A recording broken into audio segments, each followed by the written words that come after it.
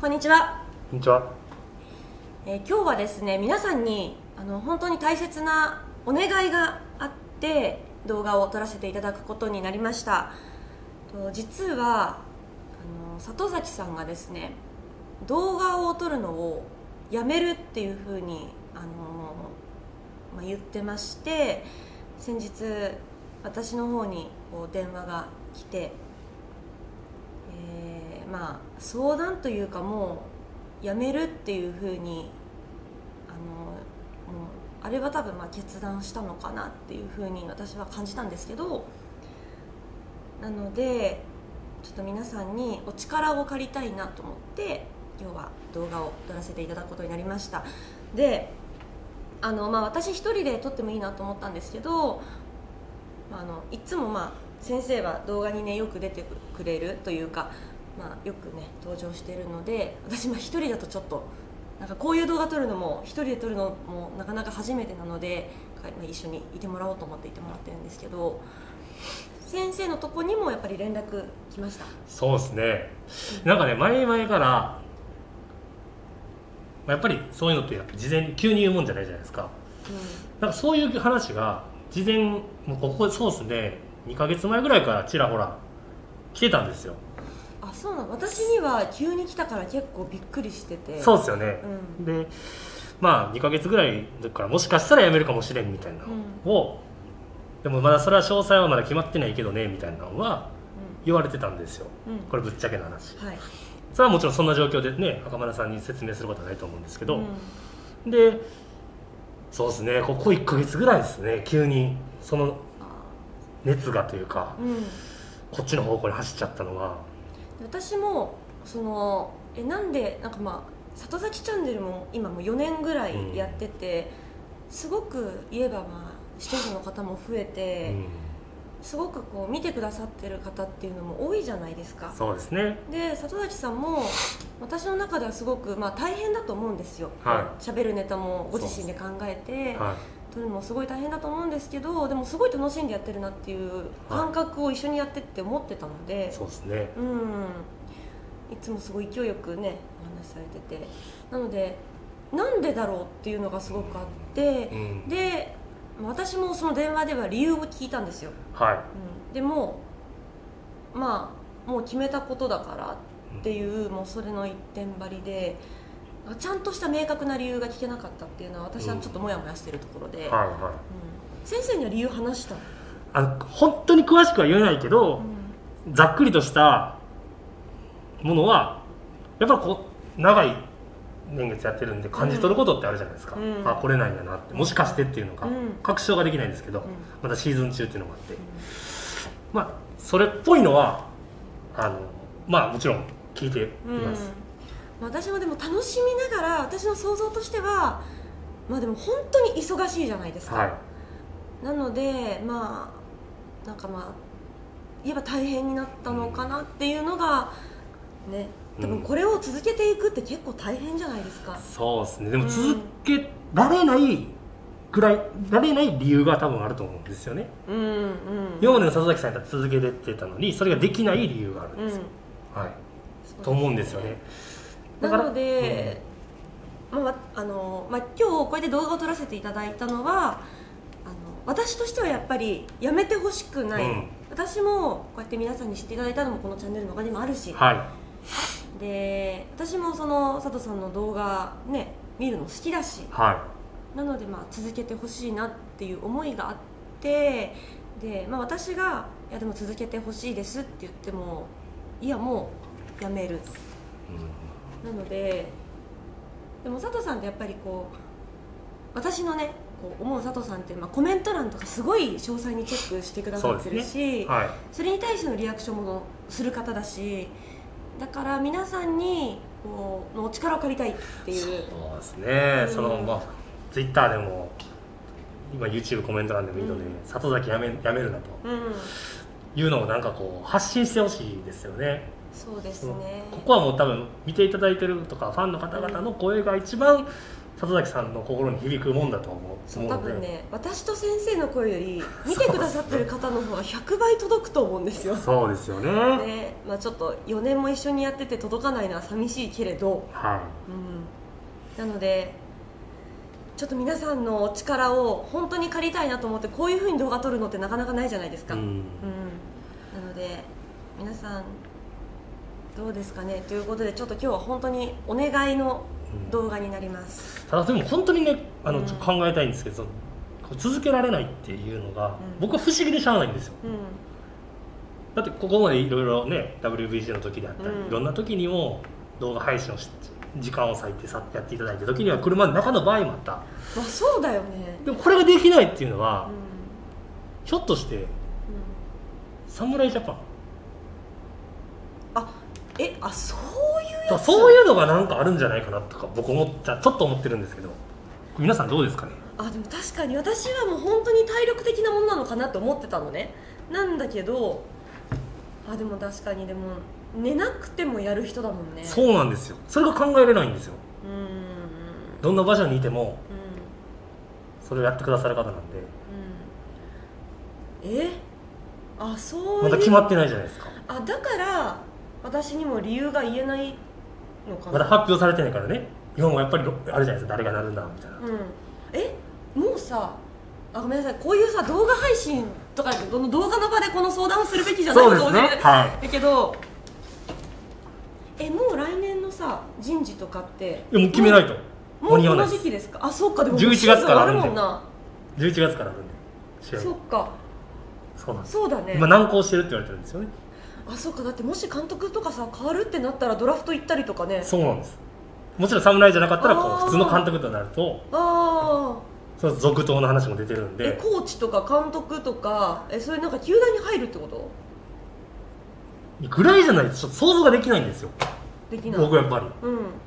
多分体力はお化けなんで絶対そんなのないんですよ。あそうだね。はいやでも私はえー、コーチ？私あのコーチはないと思う。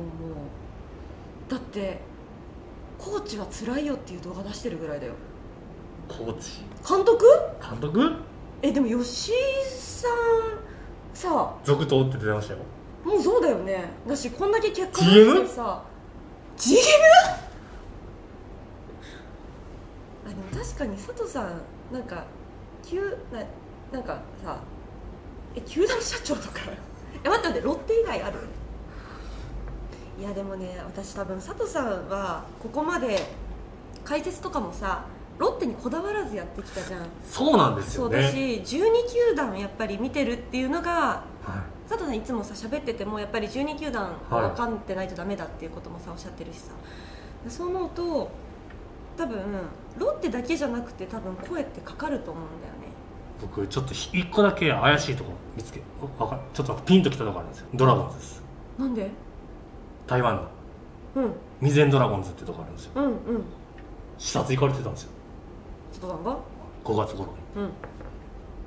うん。うん。怪しくないですか？え台湾行くってこと？台湾のミゼンドラゴンズっていうチームがあるんですけど、うん。その試合に里崎さんがうん。観客席で見られてたんですよ。えでもさそっちで行くことだって日本の仕事がこんなにあるのにそっちに行くことはなくない？いや近いじゃないですか羽田と。近いけどさでもそれでもう向こうに住むってことにならないんだったら絶対 YouTube 続けると思う。ああでそれがでも見れないから、時差の関係とか。野球が見れなくて、うんうん。メインがそっちになっちゃうから。うん。いや絶対あの人は続けるなそれだったら。それだってないですか、うん絶対続けるとなるとえでも私は絶対コーチもないと思う。と監督？だって侍ジャパンじゃないですか？里崎ジャパン？でもよくやってるじゃないですか里崎ジャパン。もし明日明日里崎ジャパンがあればみたやっていなるやってる。ええでも確かにえでも、まあ、ジャパンの監督になるんだったらまあそっち優先してほしいかなって気もするよね。でまた戻ってきてほしい。反対運動してほしいですよね見てる方が。えでももしだよ。もし里崎ジャパンがあるんだったら動画投稿のあの視聴者の方絶対その動画そっちになんないでください。続けてくださいって言わない気がする。あみんなだってさコメント欄に「里崎ジャパン見てみたい」とか書くじゃん、あそうね。いやでも、まあ、これすみません。これって完全なる私たちの今妄想というか想像なので本当に理由っていうのが本人の口から聞けてないのでわからないんですよ。えーちょっと聞きますか？なのでお願いっていうかもうもうややっていただきたいのは、うん。やめないでっていうのをねそうやめないで。言っていただけるのがもう本当にうん。まあ、本当に私たちのそれが今日はお願いです。お願いで。力を貸してほしいですでもちょっと本当に理由を聞かないとそうですね。これは多分モヤモヤしてるので。何も始まらないと思うんです。理由がわからないと多分視聴者の方もやめないでって言えないと思うので、はい。これはやっぱり本人に聞かないとそうですね。いけないですうね、ん。ね佐藤さえ何ですか？え？何？ですか？んやめるって何ですか？やめるってなんですか？えちょっともう続けてないんですよ。え？いきなり続けられないって言われてもやっぱ困るわけですよ。いやもうきついんですよ。え何がきついんですか？えだいつもその体力とかきついとか言う方じゃないじゃないですか。いやもう世間が興味を示してないんですよ。ああそっち？いやでもえそうですか？私にはそう見えないですよ、い。やもうもうやめてもう1週間になりますけどすごい生活が楽なんですよ。やめて1週間？月もうや火水木。もう4日間経ちますけどもうすごい生活が楽なんですよ。うん。もうやめてるんですか？すごい自由な時間が増えたんですよ。う。んはあれ？動画今撮ってますよ。いやもう続けれないんですよ。続けられない？ははい。え？何が続けられないんですか？いもう今シーズンをもちまして2023年の総チェックはい。終了です。ありがとうございます。もう続けれないんですよはい。そういうことですね。はい。もう総チェック続けられないんですよどうしても。いやそうですね。はい。もうあのー3連戦もなくなってきてるんですよ。はい。で優勝も決まったんですよ、うん。確かにクライマックスシリーズ争いあるんですけど、はい。3連戦振り返ってたらし毎日対戦カード違うんですよ、どういう並びで伝えてもいいかもわかんないし縦と横のつながりもないしもう消化ゲームで諦めてるファンの人いるんですよ、見に来ないんですよ、コストパフォーマンス全く合わないんですよ。この月曜日のやつなんて全然回ってないんだよ、もうあれで心惚れました。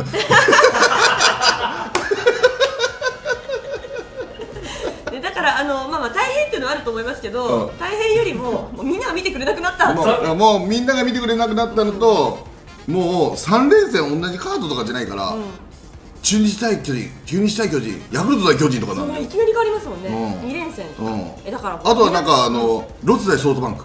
ロッテ対楽天え1試合でみたいなもうつながりとかもう全くないねないですね。うん、もう伝えるのは難しいしもういいやろ優勝も決まったから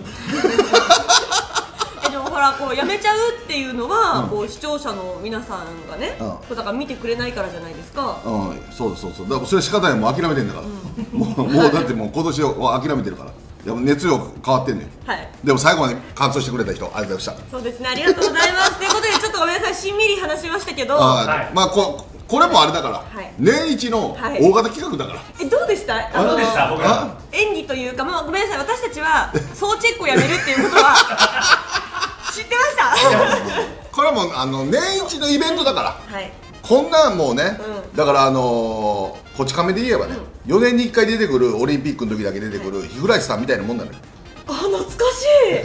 あの痩せ細ってる方ですそうそうそうそう日がやして、はい。4年に1回だけ起きるっていうみたいなもんで、い。年一イベント。はい。ビッグイベントです。もしかしたらもうこのチャンネルをずっと見てる方いたらあのサムネで、あれ？そろそろ うん。今年のあれ来たか、うん。と思う方もいるし、あと一緒に楽しんでるからね、うん。あのコメント欄も「やめないで!」ってめっうん、これあのい一緒に楽しむ企画だから。うんそうですそうです。うん。そこだけくり抜いて侍ジャパン監督っていうのを勝手になったかもしれない。えみたいな急いで見て。うん。急いで見て。YouTube やめる監督かみたいな。これ大型企画だ今はもう継続中だけど、ドラフトの企画、もう本当あの正月の日本で一番早い順位予想と同じぐらいの大事な企画だからこれ。はい。お俺にとっては 去年私笑っちゃったんですよね途中で、ね、そうそうそうそう。もう耐えられなくなっちゃってあの、うん、やっぱ、ね、うん、だからあの初めて見た人、はい、これ毎年の恒例ですから、はい、あの楽しんでください、はい、あの怒ったりしてたらもう本当きついよ。えでも今回怒られる要素あります？嘘ついてないからね。うん。そうそう。嘘はね極力ついてない。ないですけど僕らが言ったことは嘘っすよ。もちろん。それそれ想像だから。あそうそうだから。あれも想像って言ったから。想像ね。うんうん。まあ理由も、まあまあまあこうだろうなとは思ってたけどちゃんと聞いてない台湾に下付いてたのも事実。だ事実だしね、うん。うん。そう私今辞めるって聞いたのは、うあの本当だし。本当だしね。そうそうそうそう。っていうのでちょっとまあ小芝居じゃないけど、うん。ちょっとしんみり、年一だからね。はい でもまあそれでそうチェックやめないでと思う方はコメント欄に「佐藤さんやめないで最後まで見ます」って書いてくれたら戻ってくれるかもいやい。やそしたらそうそしたらコメントに書く 無理です。無理です。無理です。でもまだあのクライマックスシリーズ総チェックあるかあそうですね。ら、うん。であとは総チェックしないけど、単発のクライマックスシリーズ争いのはい。試合の評論は出すかもしれない、それはねもう全試合もう全試合総チェックはおしまい、うん。もう今年も、はいもうだってセ・リーグなんて10試合切ってるからね、うん。頑張ったよな。今年。頑張ります。そうですね。結構ね。うん。ほぼ休むことなく、ね、台湾行っても見てたんだから。そうっすよ。いつも移動中もこうやって見てるんですから、うん。大変ですよね。よかったもう幸せ、これであのもう心置きなく NFL とはい。ラグビーワールドカップ見れるわ、はい。